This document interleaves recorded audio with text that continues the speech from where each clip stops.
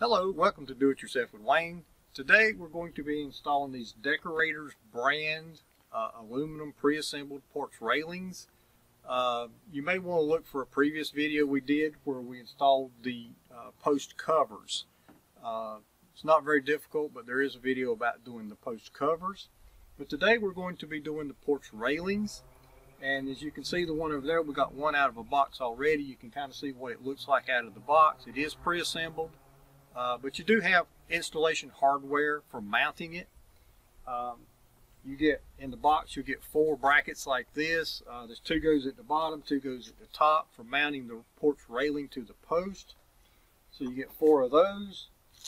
You get a bag of uh, screws for installing them. Uh, you get two of these, which are just like the uh, the balusters, but they go under the railings about midways to help support the railing so it doesn't sag in the middle over time, just to give it some extra support in the middle. And also it comes with instructions. Uh, you may want to read over the instructions before you start. Uh, one thing that was a little disappointing, but not too big of a surprise when we did the post covers, there were no instructions, but they were pretty simple to install anyway. So that's what we're going to be doing today. And uh, so now we're going to proceed with showing you how to install these pre-assembled aluminum porch railings. Now at this point we're ready to start our installation and we've already uh, went ahead and, and, and, done some of this, but we're going to show you what we did. Uh, first thing you want to do is measure between your posts. And you want to measure the bottom and the top. And ours is even, we're about 65 inches on both, but don't pay any attention to that because yours are going, will be different. And one thing I would strongly recommend that you do is measure all your sections. Now we've got four sections of these to install.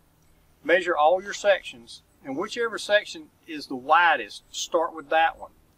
And the reason I would recommend that is if by some chance you happen to cut that a little bit short, you can use that panel in one of the other places.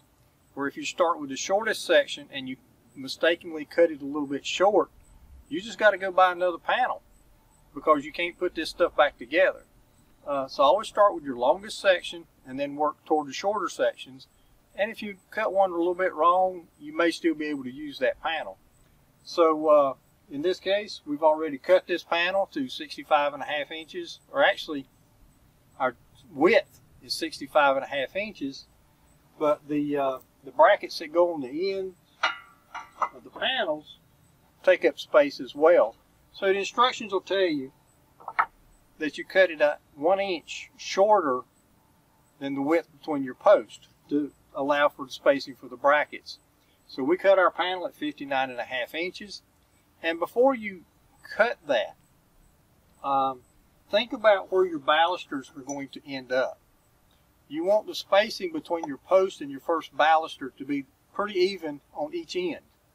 You know, you don't want one end to be real close and the other end to be real wide because it just doesn't look right. Uh, it just looks better if they're even. So think about that. You may have to cut a little bit off both ends. Uh, in our case, we got lucky. We cut this off of one end and we're good with what's at the other end. This, our spacing will look good. But in your case, you may have to cut some off both ends. But um, when you get ready to cut these things, most any kind of saw that'll cut metal will work. Um, I use my circular saw. It has a carbide tip blade. Always wear your safety glasses. Um, if you've got a hacksaw with a metal cutting blade, uh, uh, a jigsaw of some sort, most anything like that will cut them. Uh, but just make sure you got some kind of a metal cutting blade or a carbide tip circular saw blade and you won't have any trouble cutting this stuff. And also, um, use your square when you're going to cut it.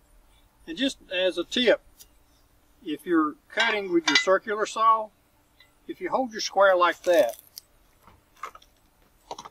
and put your circular saw against it, like that, you can cut straight across. This works for wood too. I do this all the time, cutting treated wood for decks and things of that nature or whatever. But if you hold that square against your workpiece and put the, the base of your circular saw against that square, you're going to cut straight across. And you need something to make sure that you cut this railing straight across because the end pieces don't come in very far. If you cut crooked, it may not cover part of it. So make sure you do something to make sure you cut good and straight. Now you got two different end brackets for this uh, railing. Uh, you, you can see one's a little bit wider than the other. The narrow one goes on the top rail, the wider one goes on the bottom rail. Now right now we've got our, uh, our rail section upside down. So this is the bottom. And it goes on this way. And we found these are a little bit tight, so hammer will help push it on there real good. It's just a snug fit, but it fits. And then we're going to take our screws.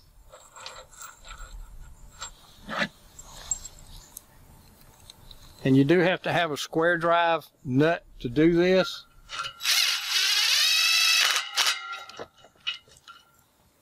But just run your screws in there with, like I said, with your square drive bit. Uh, if you don't have to, if you don't have the square drive bit, uh, you may want to look for those at your local hardware store before you start this because you will have to have it.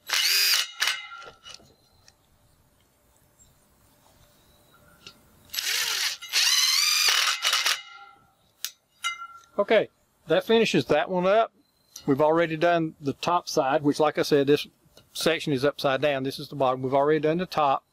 Now we're going to put it in place and make sure our spacing is right before we attach the ones on the other end, just in case we're a little bit long or something on our, on our uh, cutting.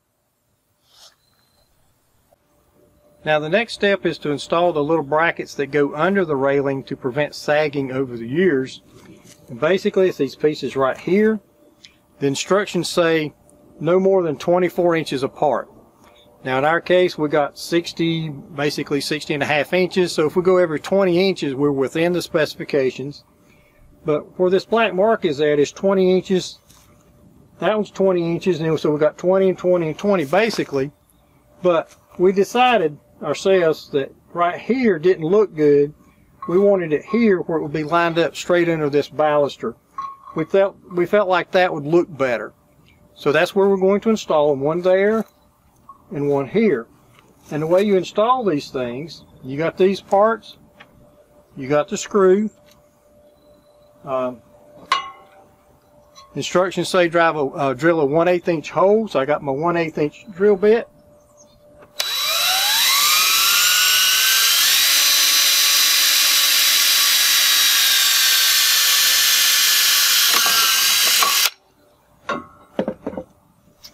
Okay, now I got the 1 8 inch hole. Square drive again. Nail, and then the screw goes in there. Make sure it's squared up good. And we'll put this on here. And then the other one, the instructions tell you to take your other screw and screw it to your deck. And we decided that it ain't going anywhere. So we're going to take that foot and just put it there. And we're going to leave it like that. Uh, if over time we feel like it needs that screw into the deck, we'll put it on there. But for right now, we're going to leave it off. And I think that will be sufficient. So that's that step. Now at this point we've got a railing in place. Uh, we've already put a couple of screws in the ends to mount it, but we're going to show you what we did. Uh, when I was using my drill, I wanted to drill in here but with my drill and the bit in the drill, I couldn't get a straight angle. So I used this drill bit extension so I could get my drill back and get a straighter angle. Uh, depending on the drill and the bits you've got, it may be a little bit different, but you need to drill a little bit of a hole. I'm going about that much, just getting through the, the post cover real good, but not really drilling very deep because the screw going into the wood can make its own hole. Now I've got uh, these finish screws that are white heads. Again, we're square drive. And you can use a square drive nut driver or whatever you got. Uh, I'm using the impact driver because I've got it.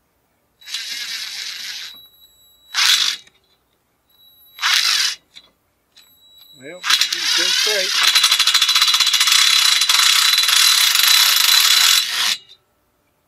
And there we go. That's all there is to it. Now we're finished with the installation of our first panel. Uh, obviously in our case we've got several more panels to do. We've also got a couple of steps. There will be a railing that goes down the steps. Uh, when you purchase the railing panels, uh, the ones for the steps are a little bit different, but basically the installation is the same. Uh, on this Deckorator's brand railings, uh, I've been pleased with the installation process. Uh, all the components were in the box. The instructions were fairly easy to understand. I really don't have anything negative to say. I think it's worked out great. And I do recommend this brand if you have a railing like this that you need to put up. So at this point, I'd just like to say thank you for visiting Do It Yourself with Wayne. Please like and subscribe to our channel, and we hope you have a great day.